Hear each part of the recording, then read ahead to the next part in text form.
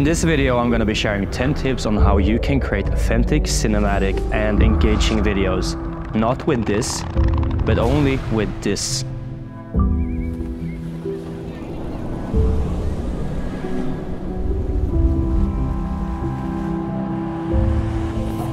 I received a lot of questions and requests on my last YouTube video, A Letter to Tunisia, that was entirely filmed on an iPhone 15 Pro Max, to share some insights about how I planned, filmed, and edited this video to make it look like it was filmed on an expensive camera rather than on an iPhone. Let's start with the basic settings. If you don't get these right, your footage will look unprofessional from the get-go. Firstly, the biggest upgrade from previous iPhones, and the reason that I first now decided to create a short film with the iPhone is the new function and capability of filming in ProRes log.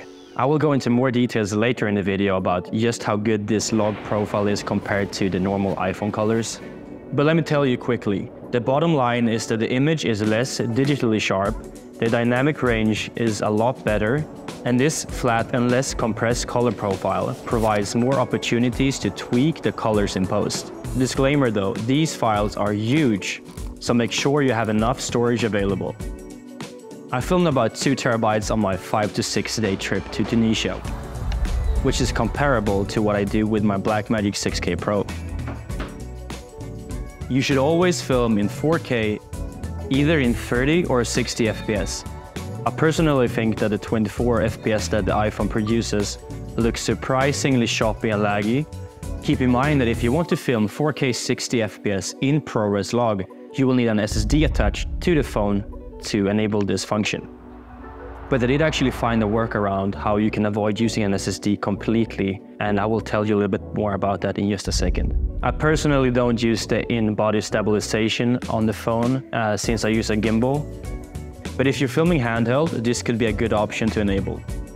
Make sure to lock the white balance as well to avoid the color changing mid-video and lastly, since you don't want the clip to change exposure mid-clip either, you have to lock the camera before every shot, meaning you lock the exposure and the focus. You do this by pressing down on the subject you want in focus for about a second until this box appears on your screen. So far so good in the native iPhone app.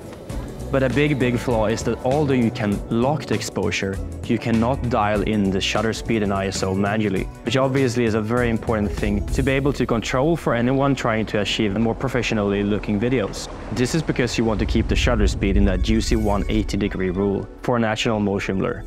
You can try to fake it partly in post, but honestly it looks a bit cheap and messy in most cases. So to be able to adjust these parameters, you need to turn into a third-party app. And let me tell you guys, this was something I had a very hard time finding to begin with. Filmic Pro was an app that a lot of people recommended, but I personally didn't have a very good first impression of the app. Perhaps they just haven't released an update for the iPhone 15 Pro yet, uh, I'm not sure. But the image just looked a lot worse when recorded through the app, both quality and color-wise. But then midway through the trip, I got recommended to try the Blackmagic app from one of my friends and I can safely say that this was everything I was looking for. I could now adjust the shutter speed and ISO.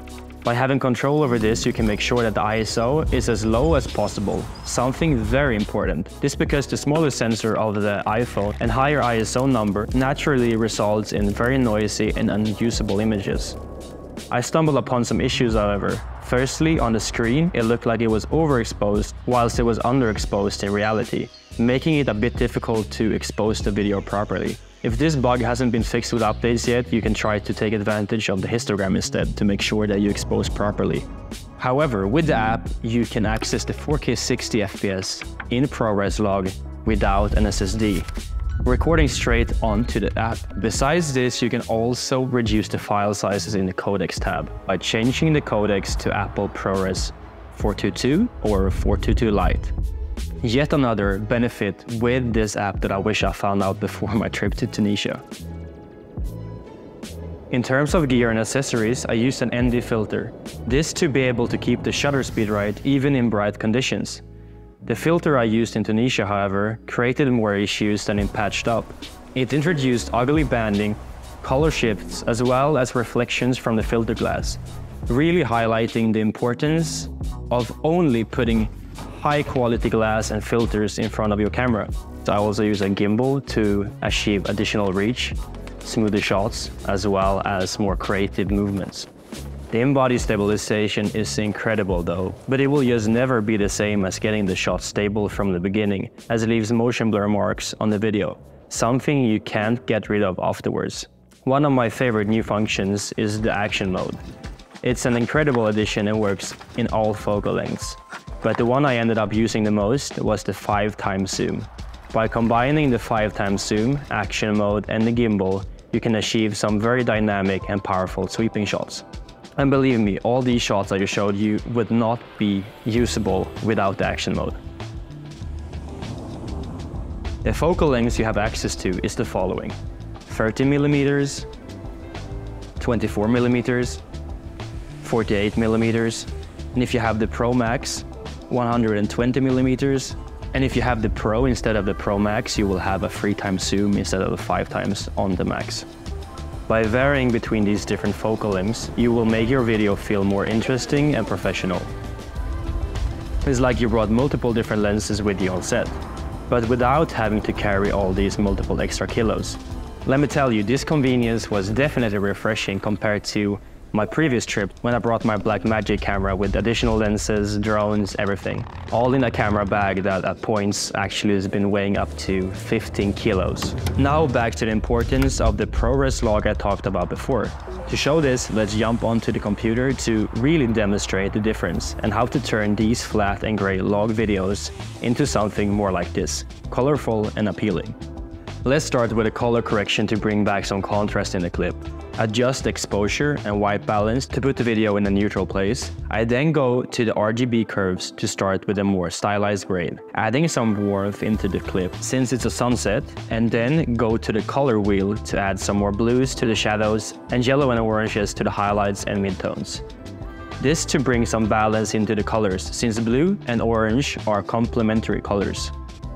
I then create a mask to darken this rather uninteresting part of the image and hence bringing more contrast into the clip and attention to the sunset and person standing on the rock. And with that, here is the before and after. A transformation that wouldn't be possible if it was recorded in the normal iPhone colors. I start off by copying and pasting the basic color correction from the previous clips to save time and make sure to keep a consistent tone from clip to clip. After that, I adjust exposure, add some warmth and saturation, and push the blues a bit more towards that teal color. The final clip. I start off by bringing down the temperature to introduce some more greens into the image. I want to make sure the road is a bit more orange to bring some additional color contrast between the greens in the grass and the oranges in the road. And then we finish off with with some final contrast and saturation changes, so we get it to where we like it. If you want to take a shortcut and avoid this a little bit longer process, I have now launched my LUTs that is specially made for phone footages, including a conversion LUT for the flat Apple log color profile. After the conversion LUT, you just add any of my four LUTs to the clip. Here you can see the immediate effect it has on the colors of the clip. Don't be afraid to mix the LUTs too for a different result. Make sure to use the discount code ErikYouTube15 for an additional 15% off your next order. You will find the link in the description below.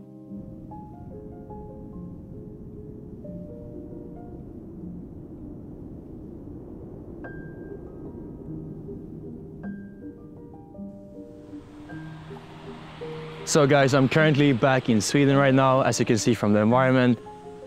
One of the biggest flaws with the camera on phones in general is the lack of depth of field. This is a consequence of the smaller sensor. Apple tried to solve this with the cinematic mode, which I personally think just isn't good enough. You can quickly tell that it's faked and it often creates flicker on the edges of your subject. There are some smaller tricks however how you can achieve that shallow depth of field in your shots. First of all, by using the 2 times or 5 times zoom. Thanks to the compression the zoom generates, the depth of field kinda comes as a package deal. And secondly, the closer you get to your subjects, the more shallow depth of field you will achieve. So the battery on the iPhone 15 Pro Max has been amazing so far, except for when I'm filming. Filming just drains the battery like crazy. So I actually emptied the entire battery in three to four hours of filming in Tunisia. So let me highlight the importance of bringing power banks on your adventures. Bringing a power bank as well as some extra time to spare for charging. Another issue I encountered in Tunisia, which might not be as much of a problem here in Sweden, was overheating. The phone first turned down the screen brightness to cool itself, making it close to impossible to see anything on the screen in bright conditions, and hence extremely difficult to film anything. And if that doesn't help, you will receive this warning message, locking the phone until it's cooled down.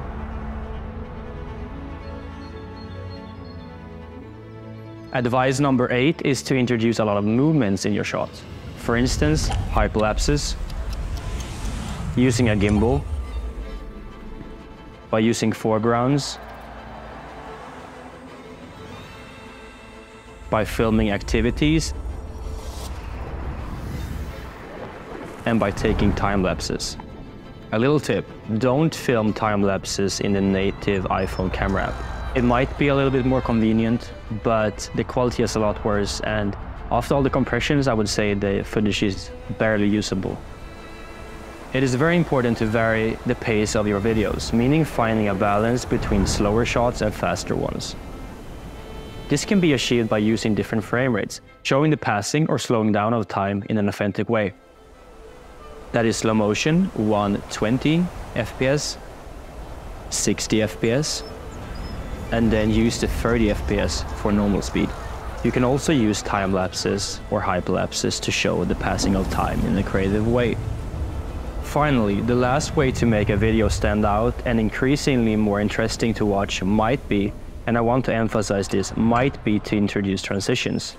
I will not dive too deep into details in this video as I've been talking for too long now, but the key to good transitions is to look for similarities between shapes, colors, luminance, as well as motions to name a few. You want to make the video more fluid with your transitions, taking the viewer from one location to the next. With that said, transitions can be distracting if it's not used correctly and in moderation.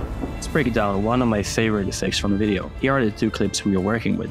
I create all my effects and transitions inside of After Effects, but the theories can just as easily be applied in any other editing software.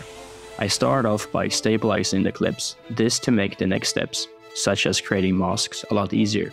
I then color grade both clips to match the colors and luminance, in especially the skies, just to make the fade between the two different clips a lot more seamless. I then throw on the effect gradient wipe onto the second clip, this to easily mask out the opening in the stairs. It works pretty well this time since the sky is so much brighter than the rest of the clip, but in other cases I would use the normal mask or the rotoscope tool to, to mask out the gap in the stairs. I then create a duplicate of the stairs clip, this time to smoothly fade the sky back into the final edit. I do this by a simple opacity change. As you can see here, the gradient wipe isn't perfect, however, so I make sure to create a second duplicate of this clip to clean up this part of the image using a mask. I then finish the edit off by pre-composing the clips and adding a pixel motion blur to blend everything and the motion together even more. And voila, here is the final edit. Here is one of my favorite transitions from the video, but also the simplest in terms of editing. As I mentioned before, if you can find similar elements between different clips, the transitions will be a lot more seamless. In this case, both clips had a section where the sand was thrown towards the camera, making for a perfect transition point. I simply just made a normal fade between a clip that took just a few seconds to add. Well, that was it for this video. I've had a blast creating phone-related content for the last month and receiving all your positive feedback. Please let me know in the comments if you have any further questions and if you feel like I perhaps missed any topics in this video. I'm very happy to answer them all. And with that said, give a like, subscribe, and I will see you guys in the next video. Peace.